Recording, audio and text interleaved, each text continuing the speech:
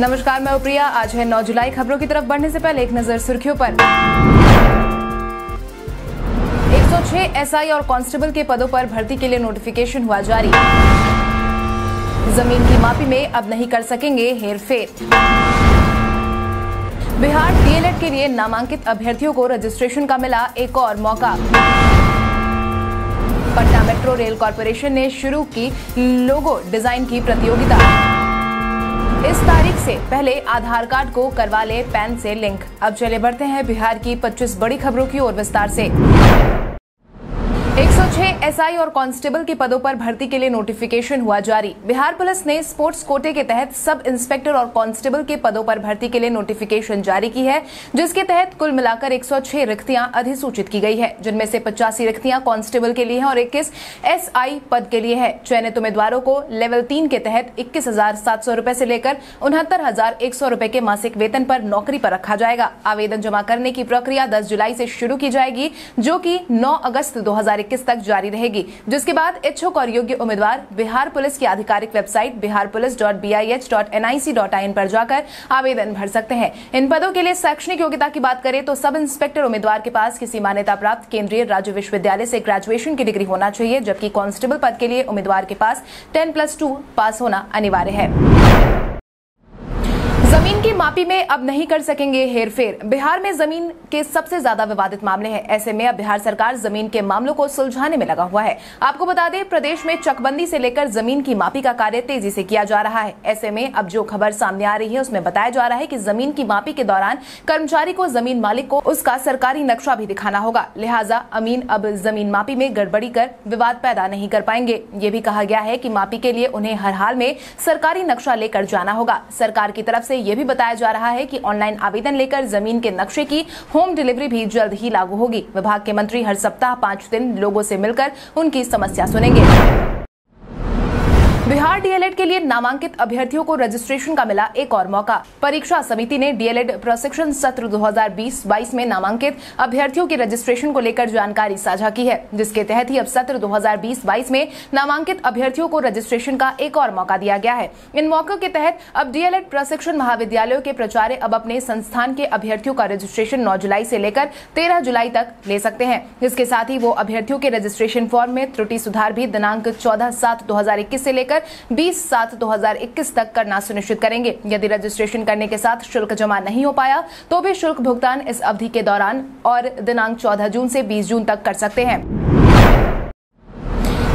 मान्यता वाले राजनीतिक दलों पर इलेक्शन कमीशन की अब है नज़र। बीते दिन बिहार के सभी निबंधित गैर मान्यता प्राप्त राजनीतिक दलों से भारत निर्वाचन आयोग ने ऑडिट की रिपोर्ट की मांग की है, जिससे सभी दलों को अब आय और व्यय का ब्यौरा देना होगा। आयोग की तरफ़ से जारी किए गए निर्देश के अनुसार मुख्य निर्वाचन पदाधिकारी बिहार ने राज्य में निबंधित गैर मान्यता प्राप्त राजनीतिक दलों को नोटिस जारी कर दिया है, साथ ही वार्षिक ऑडिट की रिपोर्ट की मांग की है, जिसको लेकर निर्वाचन विभाग के संयुक्त मुख्य निर्वाचन पदाधिकारी मिथिलेश कुमार साहू ने यह निर्देश जारी किया है। जारी किए गए निर्देश के अनुसार अनुसार अंशदान रिपोर्ट अब हर साल 30 सितंबर या फिर आयकर विवरणी दाखिला करने के लिए विस्तारित तारीख तक जमा किया जाना है। पंचायत चुनाव में कोविड प्रोटोकॉल का होगा सख्ती से पालन। कैबिनेट विस्तार के साथ ही अब पंचायत चुनाव की तैयारियाँ तेज हो गई है, जिसके तहत ही ईवीएम से लेकर कम्युनिकेशन तक का प्लान बनकर तैयार हो गया है। कोरोना के कारण हर स्तर पर अभी से ही तैयारियाँ शुरू हो गई है। पंचायतों में राजनीतिक सरगर्मियाँ तेज हो गई है। ऐसे में राज्य निर्वाचन आयोग के सामने पंचायत चुनाव को समय पर कोरोना प्रोटोकॉल का पालन करवाते हुए आयोजित करवाना अभी भी चुनौती बनी हुई है। ईवीएम की व्यवस्था से लेकर मेंटेनेंस तक का जिम्मा दिया जा रहा है। कोविड मानकों का पालन कराने को लेकर भी विशेष तैयारियाँ की जा रही है। जिलों में कोषांग का गठन करके कर्मचारियों की तैनाती की योजना पर काम किया जा रहा है। लिमिटेड ने निकाली 220 सरकारी नौकरियाँ।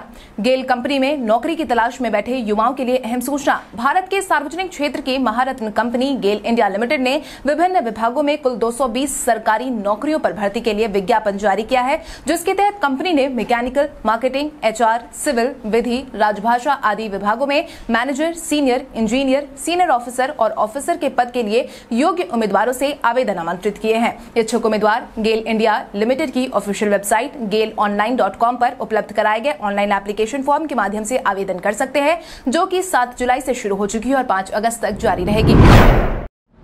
पटना मेट्रो रेल कॉरपोरेशन ने शुरू की लोगो डिज़ाइन की प्रतियोगिता।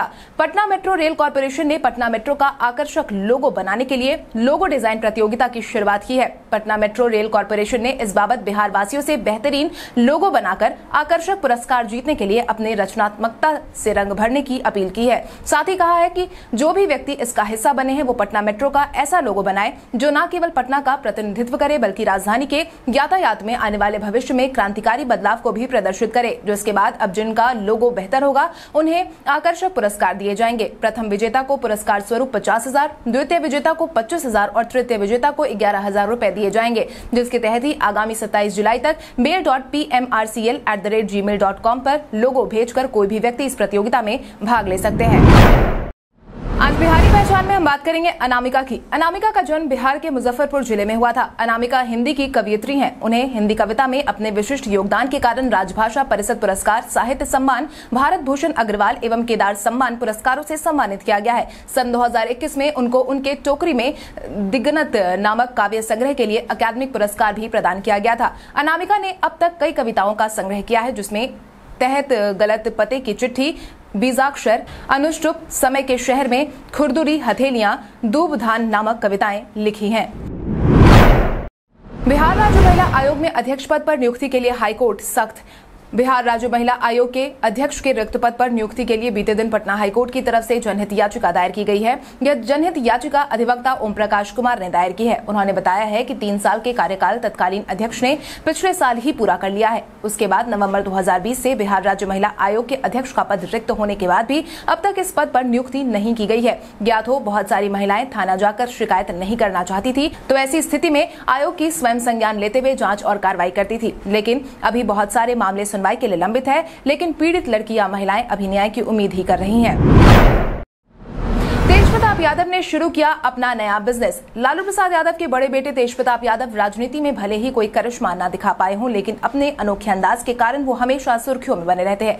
इसी क्रम में एक बार फिर से तेज प्रताप यादव की चर्चा तेज हो गई है, क्योंकि तेज प्रताप यादव ने अपना नया फूलों की अगरबत्ती का बिज़नेस शुरू किया है। इसका ब्रांड नेम एलआर है। वैसे तो इसे लॉन्गेस्ट एंड रिचर कहा जा रहा है, लेकिन तेज प्रताप यादव के समर्थकों ने इसे लालू राबड़ी अगरबत्ती का नाम दे दिया है। इसके साथ ही तेज प्रताप यादव के इस नए बिज़नेस के लिए शोरूम भी तैयार कर लिया गया है। और दानापुर में बनाई गई है। यहाँ पर अगरबत्ती का निर्माण किया जाता है और फिर उसे शोरूम में रखा जाता है।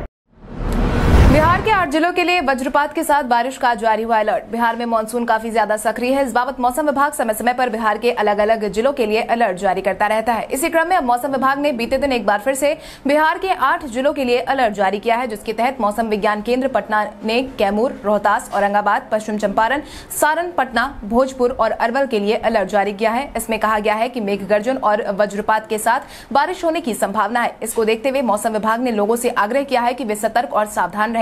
आपको बता दें कि बिहार में दक्षिण पश्चिम मानसून की सक्रियता भी लगातार देखने को मिल रही है। राज्य के अधिकांश भागों में आंशिक बादल छाए रहे। एमपी कौटिल्य, बिहार फिर से हुआ शुरू।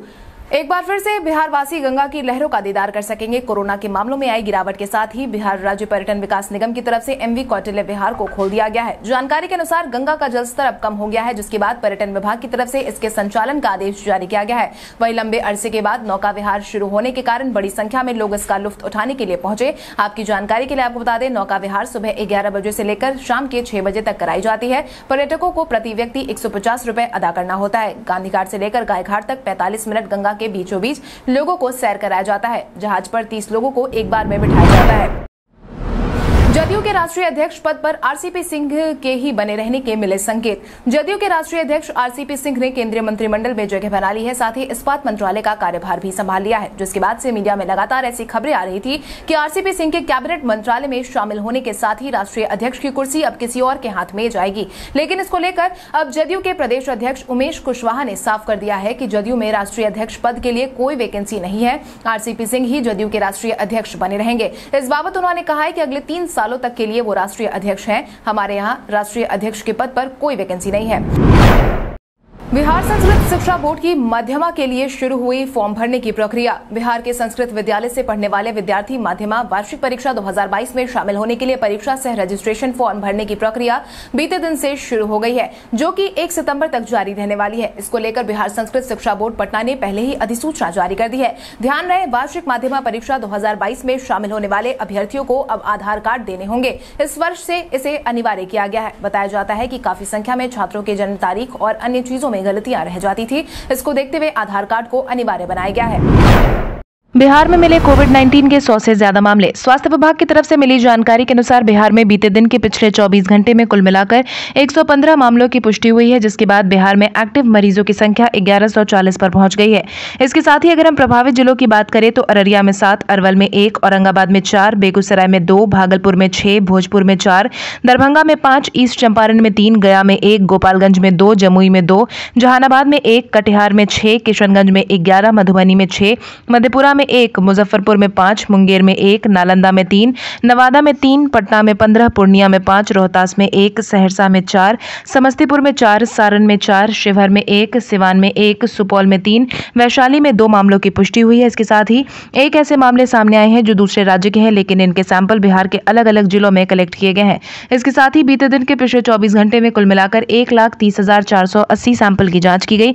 वहीं एक सौ पचपन मरीज़ ठीक होकर घर वापस लौटे हैं। अन्य फ़सलों के साथ साथ गन्ना फ़सल की क्षति का आकलन भी करेगा कृषि विभाग। गन्ने के किसानों को लेकर बिहार में अहम पहल की गई है, जिसके तहत कृषि विभाग की तरफ़ से मिली जानकारी के अनुसार धान एवं औद्योगिक फ़सलों के साथ साथ गन्ना फ़सल की भी खेती बड़े पैमाने पर बिहार के किसानों द्वारा की जाती है। ऐसे में कृषि विभाग द्वारा समय समय पर किए जा रहे फ़सल क्षति संबंधी आंकड़े में कभी कभी गन्ने की फ़सल की क्षति का आकलन नहीं हो पा रहा है। इसी को ध्यान में रखते हुए उच्च स्तर से प्राप्त निर्देश के आलोक में अन्य फ़सलों के साथ साथ गन्ने की फ़सल की क्षति का आकलन भी कृषि विभाग के द्वारा करने का आदेश जारी किया गया है, जिससे कृषि इनपुट अनुदान प्रभावित गन्ना किसानों को समय पर दिया जा सके, जिसके तहत बाढ़, सुखाड़, असामयिक वर्षापात एवं अन्य प्राकृतिक आपदाओं से फ़सल क्षति के आकलन में गन्ना फ़सल की क्षति का भी आकलन अवश्य किया जाए। इस सप्ताह भारत पहुंचेगा मॉडर्ना वैक्सीन। कोरोना के वर्तमान माहौल के बीच देश में वैक्सीनेशन की प्रक्रिया ज़ोर शोर से करवाई जा रही है। इसी कड़ी में भारत को एक और वैक्सीन की खेप मिलने वाली है। स्वास्थ्य विभाग की तरफ़ से मिली जानकारी के अनुसार मॉडर्ना वैक्सीन इस सप्ताह भारत पहुँच सकती है। आपकी जानकारी के लिए आपको बता दें, मॉडर्ना भारत में आने वाली पहली अमेरिकी वैक्सीन होगी। यही वजह है कि सबकी निगाहें इस वैक्सीन के भारत में लॉन्च होने की तकनीक पर लगी हुई है। मंत्री आरसीपी सिंह ने इस्पात विभाग की ज़िम्मेदारी संभालते ही कही अहम बात। बीते दिन केंद्रीय मंत्री आरसीपी सिंह ने इस्पात विभाग की ज़िम्मेदारी संभाल ली है। साथ ही उन्होंने अपने नए काम को संभालने की जानकारी ट्वीट करके दी और कहा कि उनकी प्राथमिकता प्रधानमंत्री मोदी के नेतृत्व में तय किए गए लक्ष्य को हासिल करना है कि कैसे देश का विकास हो और देश विकास के रास्ते पर आगे बढ़े। यही हमारा प्रयास है। इसके साथ ही उन्होंने बीते दिन मंत्रालय का कार्यभार संभालते ही अपनी तस्वीर भी साझा की है। वहीं आरसीपी सिंह को बधाई देने के लिए बीते दिन कई पोस्टर भी राजधानी पटना में लगाए गए थे। चिराग पासवान ने नीतीश कुमार को फिर लिया आड़े हाथ। जब से लोजपा दो फाड़ में बटी है और अध्यक्ष की कुर्सी पशुपति पारस के हाथ में गई है, तब से लोजपा के भीतर राजनीतिक हवा ही बदल गई है। वहीं अब तो पशुपति पारस ने खाद्य मंत्रालय की ज़िम्मेदारी भी उठा ली है। तो अब भतीजे का मिर्ची लगना लाजमी है। यही कारण है कि चिराग ने चाचा जी के मंत्री बनने का ठीकरा नीतीश कुमार पर फोड़ दिया है, जिसके तहत उन्होंने कहा है कि मुझे कभी भी मंत्री पद की लालसा नहीं थी, लेकिन मुझे अभी भी ये नहीं पता है कि मेरे चाचा पशुपति कुमार पारस को किस पार्टी के कोटे से केंद्रीय मंत्रिमंडल में शामिल किया गया है। जिस तरह से चीज़ें सामने आई है, उससे ऐसा लगता है कि नीतीश कुमार ने मुझे मंत्री न बनने देने के लिए अपनी ही पार्टी के नेताओं, खासकर राजीव रंजन और ललन सिंह की कुर्बानी दी है। मोदी के मंत्री नहीं बनने पर भाई वीरेंद्र ने कसा तंज। प्रधानमंत्री मोदी के मंत्रिमंडल का विस्तार कर दिया गया है, जिसमें बिहार के नए चेहरों को इस बार ज़िम्मेदारी सौंपी गई है। हालाँकि सुशील मोदी को कैबिनेट में शामिल करने की भी खूब चर्चा हो रही थी, लेकिन ऐसा हुआ नहीं, जिसके बाद अब राजद ने इस मुद्दे को उठाते हुए सरकार पर निशाना साधना शुरू कर दिया है। इसी क्रम में राजद की तरफ़ से मुख्य प्रवक्ता भाई वीरेंद्र ने अपना बयान जारी किया है, जिसमें उन्होंने कहा कि मुख्यमंत्री नीतीश कुमार को मंत्री पद के लिए एक नाम चुनना था। उन्होंने अपनी जाति के आरसीपी सिंह को चुना है। सुशील मोदी हर बात के लिए लालू यादव को जिम्मेदार बताते हैं। उन्हें एक मच्छर भी काट ले तो लालू यादव का ही नाम लेते हैं।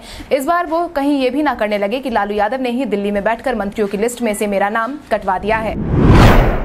शत्रुघ्न सिन्हा ने दिलीप कुमार को भारत रत्न नहीं दिए जाने पर उठाया सवाल। बिहार से निकले अभिनेता शत्रुघ्न सिन्हा आए दिन अपने बयानों के लिए सुर्खियों में बने रहते हैं। वहीं बीते दिन एक बार फिर से शत्रुघ्न सिन्हा की चर्चा तेज हो गई है, क्योंकि उन्होंने अपने बयान में दुनिया को अलविदा कहने वाले दिलीप कुमार को भारत रत्न नहीं दिए जाने पर सवाल उठाया है, जिसके तहत उन्होंने ई टाइम्स से बात करते हुए कहा है कि मुझे अचरज होता है कि जिस दिलीप कुमार ने सबसे ज़्यादा फ़िल्म फेयर अवार्ड जीते हैं, जिन्हें नेशनल अवार्ड से नवाजा गया है, उन्हें भारत रत्न से सम्मानित क्यों नहीं किया गया, ये एक सोचने वाली बात है।